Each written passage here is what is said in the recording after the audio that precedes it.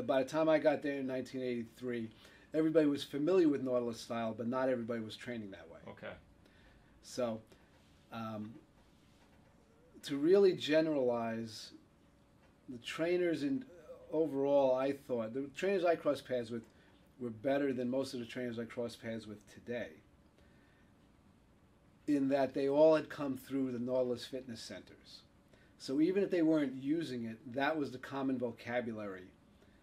So if somebody was compromising, if somebody was doing more sets or not training to failure or using free weights instead of machines, it was still from a common root, and you could always go back to it. You could always have, you know, you can always bring, um, you could always have a discussion because you had the same common root information, and then you may have veered from it, but you still had the same common uh, basic knowledge, as opposed to say 20 years later when the Nautilus training influence was a lot, um, a lot less, a lot less um, prominent than it had been in the early 80s and it was sort of like an in train in gyms tra- it was sort of like everything goes Mm. with no no root philosophy other than if it makes you sweat or makes you burn or makes you grunt it's good So what happened? So I think we, we probably both agree that those Nautilus principles, to a degree, had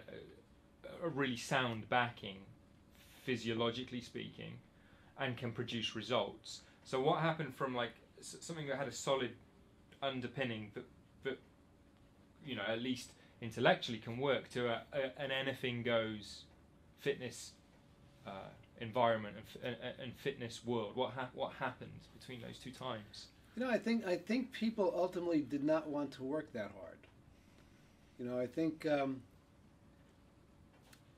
no matter what the client said going in when you actually started to push them hard you could tell they were pulling back. And so now you have a choice. Do i do i live and die by this philosophy no matter what? Or do i give the person a little bit less than that philosophy to keep them coming as a client.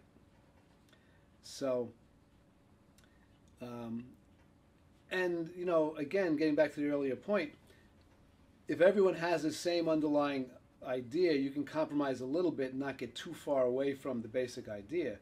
But when it's anything goes and nobody has the same kind of core understanding then it becomes very chaotic. And then it becomes even trendier than it is now it just becomes whatever's most fashionable whatever gets people's attention. Um, so now you know what happened commercially hard to say. You know at, at that time the Nautilus designs were unique from the Cybex designs from the Universal designs. And now if you go look at machines they're all based around the same design. So um, it might have just you know it might have just been one of those phenomenons Nautilus that was of the moment right? You had excuse me you had the fitness boom with Arnold and pumping iron which gave the whole idea of working out and exposure and the viewing public may not have wanted to try to be Arnold but they saw a value in exercise in general and Nautilus might have been positioned at that time to be the more palatable version of pumping iron Mhm. which is completely amateurish guessing on my part